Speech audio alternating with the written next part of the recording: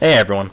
In today's tutorial, we'll be exploring some basic programming constructs that will open the doorway to C-sharp for many beginners out there. We'll discuss essential C-sharp concepts such as output and variables. Let's get started. We'll begin by creating a new project and using the Windows Forms application template. Go ahead and name it whatever you want. I'll go with tutorial 1. Now keep in mind this will be the starting point for most of my tutorials to come. So just know that. Alright, so we're given a blank form and a bunch of uh, graphic elements in our toolbox over here. If your toolbox is not showing, you can go to View, Other Windows, and then Toolbox. Now, all of these graphic elements are generated by the IDE to save us a lot of programming time. And we're going to go ahead and throw a couple of buttons in here. And resize them how you want them. Uh, really doesn't matter to me. It's, it's, uh, it's your program, so do what you want. Just going to make it look a little more nice. Uh, you can change the text property of this uh, form window to, for instance, my program. You can also change the text properties on this, these buttons. For instance, uh, I'll, I'll, name this one output, and I'll name this one uh, variable output, because that's what we will be doing with them. Right. So, go ahead and double click on the output button um, in order to take us into the uh, to the Form 1 code sheet. And um, basically what it has done is generated a new line of code that basically says whenever button 1 is clicked, and button 1 by the way is the name identifier for the output button, um, whenever it is clicked, um, everything within these brackets will be executed. All of the code within these brackets will be executed. So we're going to go ahead and put, put in some basic code. Um, first of all, a lot of programmers like to know how to comment in uh, in the programming language they're learning. So right off the bat, I'm going to let you know that commenting in C Sharp is done through uh, two forward slashes like this. Oh, whoops. For those of you who do not know what a comment is, it is essentially uh, a note to the programmer letting them know essential things about their program.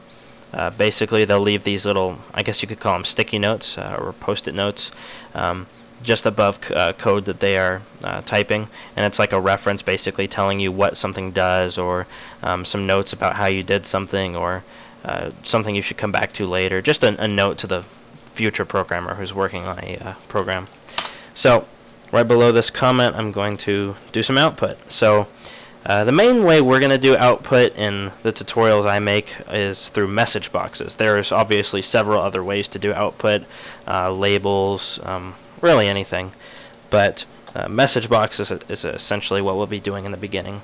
So the way you do a message box is pretty straightforward, just message box. And this invokes the message box class. And then we'll be using the uh, show method within the message box class, which is dot show and then of course we're going to end every um, programming line with a semicolon which is not new to programmers by any means.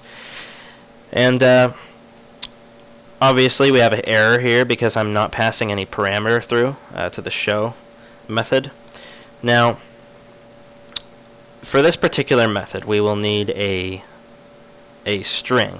And this string will basically be the string that is outputted through this message box. This message box will appear in a pop-up box format, and it will output a string that we give it. So for this string, we'll just do something. We'll stick with something pretty uh, simple. We'll do, uh, my name is Chris.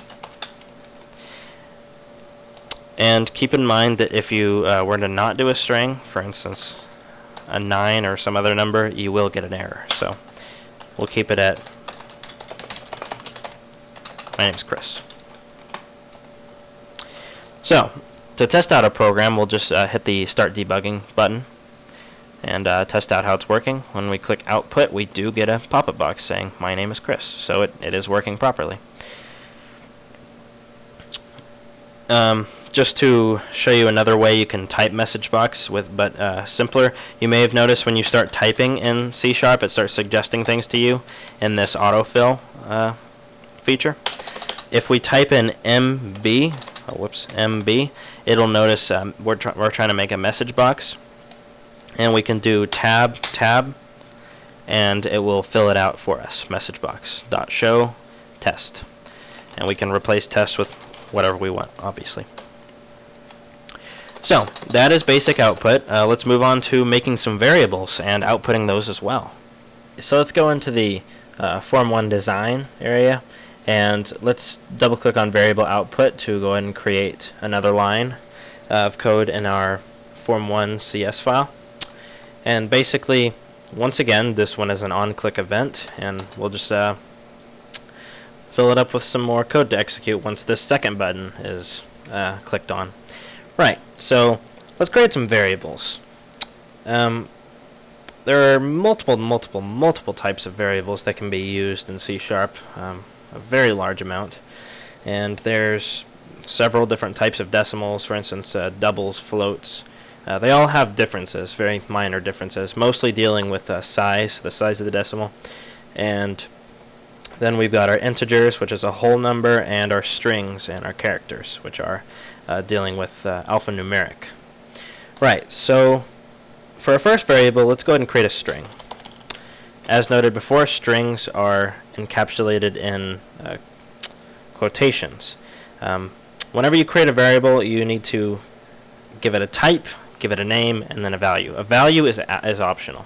Um, it will assign a default value if you do not give it a value, but we're going to, in this case, give it a value. First of all, let's give it a name. For instance, this one, we'll just say it's called name. And we'll give it a value of Chris, like in our first example. As you may notice, the name is underlined in green. That basically means that you have not used the variable yet. This is a warning. Uh, green underlines means warning, red is error.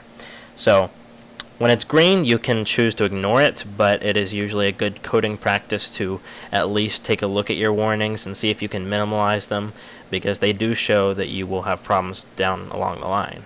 Uh, red is fatal. Red means your program cannot be executed. So then, um, let's create an integer and we'll set it to age and we'll give it a value of uh, 20.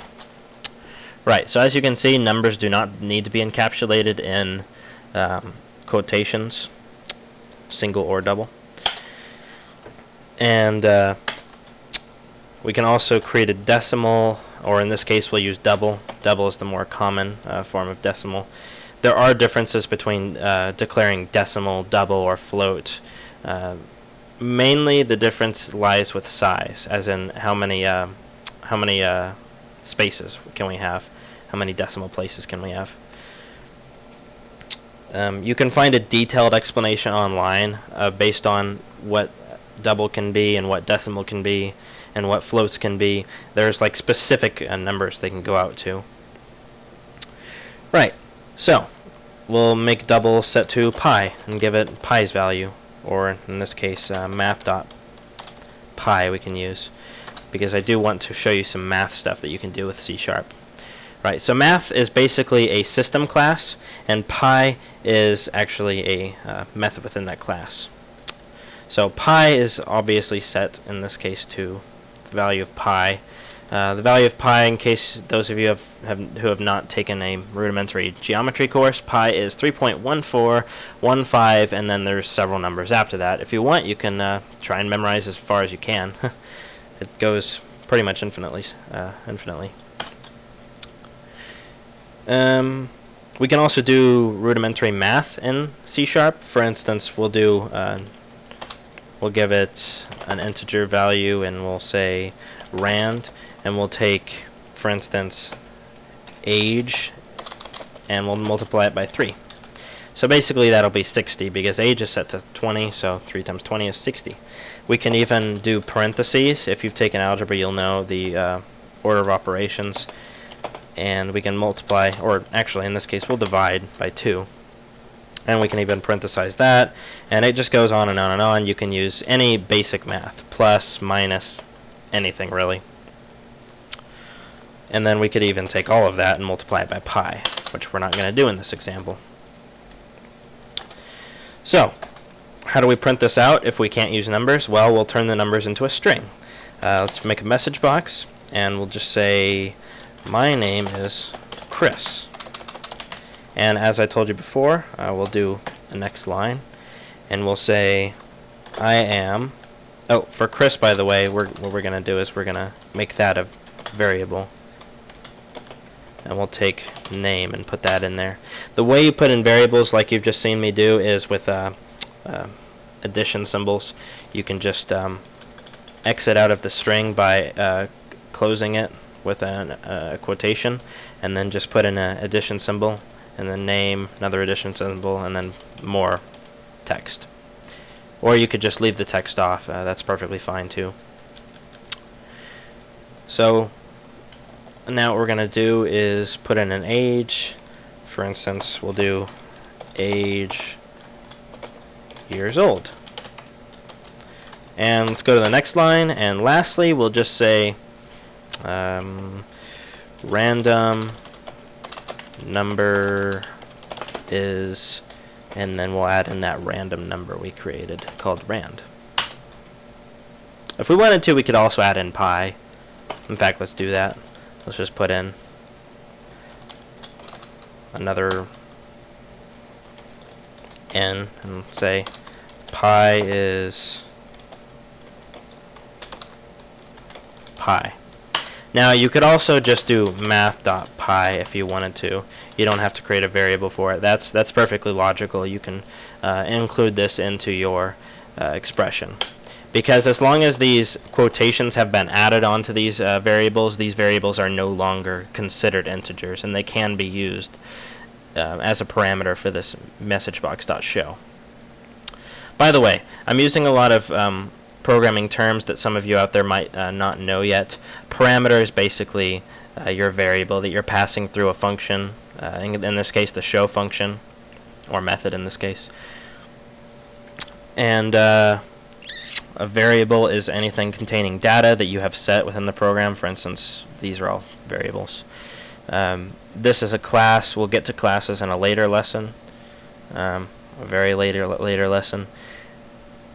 And that's that's pretty much it right now. Uh, this is the most basic uh, you need to know. Variables output, um, and it all works flawlessly. Let's go ahead and debug it, and I'll show you how button 2 reacts. Once we click button 2, my name is Chris. We expected that to happen. I am 20 years old because our age uh, variable was set to 20. Random number is 35. And that is, of course, due to the fact that we are taking uh, 20, multiply multiplying that by 3, making 60, dividing by 2, making 30, and then adding 5 on to make 35. Pi is, and we get nothing. Now you may be wondering why that is.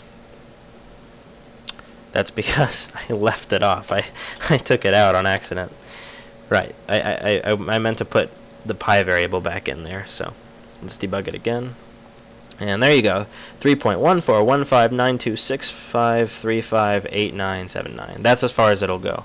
It, it does not uh, continue showing you the rest of the numbers for pi because if it did, it would literally take forever. Right. So, that is variables and output and roughly anything else that we wanted to cover in this uh, lesson. Be sure to continue on.